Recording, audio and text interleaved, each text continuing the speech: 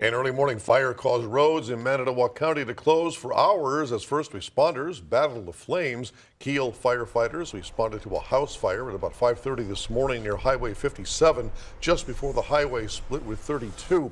First responders said they were greeted by heavy smoke and flames coming from multiple sides of the house.